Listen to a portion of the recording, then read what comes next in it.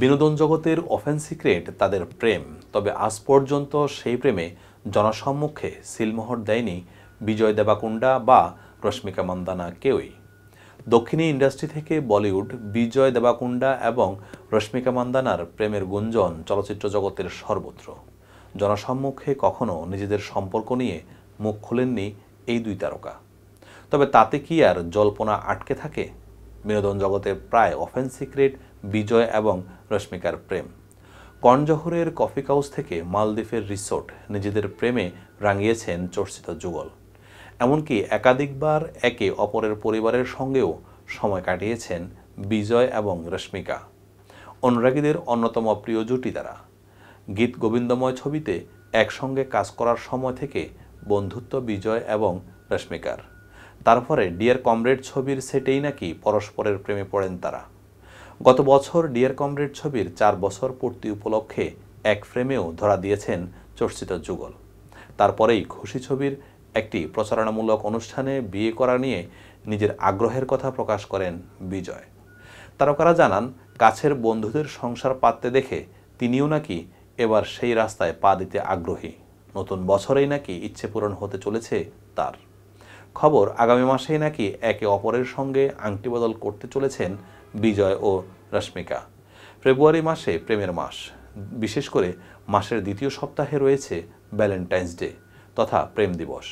সেই সময় নাগাদে নাকি একে অপরের সঙ্গে বাগদান সেরে ফেলতে চলেছেন বিজয় ও রশ্মিকা। শোনা যাচ্ছে, এত বছরের সম্পর্কের পর আগামী চোদ্দই ফেব্রুয়ারি নাকি একে অপরকে বিশেষ উপহার দিতে চান বিজয় ও রশ্মিকা। সেই কথা মাথায় রেখে নাকি জীবনের নতুন অধ্যায়ের দিকে একসঙ্গে পা বাড়াতে চলেছেন তারা। যদিও এখনও এই নিয়ে মুখ খোলেননি বিজয় বা রশ্মিকা কেউই। এত বছর ধরে তাদের সম্পর্ক নিয়ে চর্চা হলেও ব্যক্তিগত সম্পর্ক এবং জীবন নিয়ে কখনোই ক্যামেরার সামনে বিশেষ তথ্য ভাগ করে নেননি তারা। তবে তারা একে অপরের খুব ভালো বন্ধু। সেই কথা স্বীকার করতে কখনো জড়তা দেখা যায়নি বিজয় বা রশ্মিকার মধ্যে।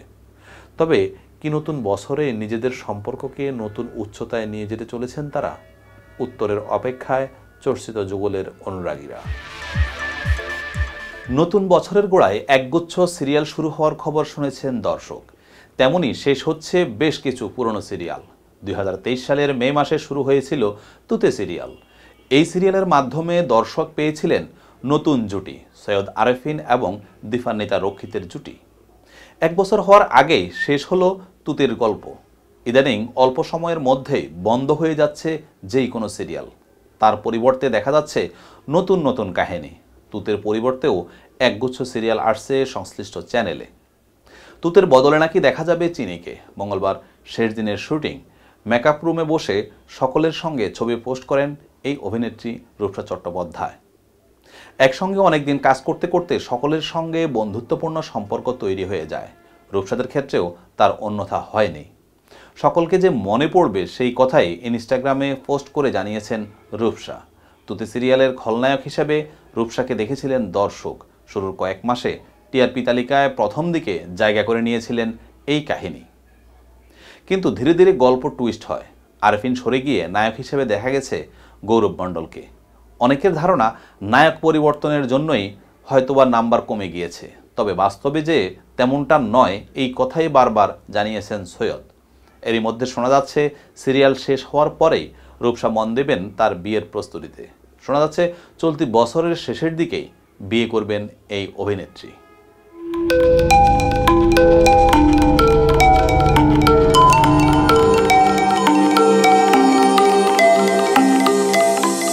টিভি দেশ দশের কথা বলে।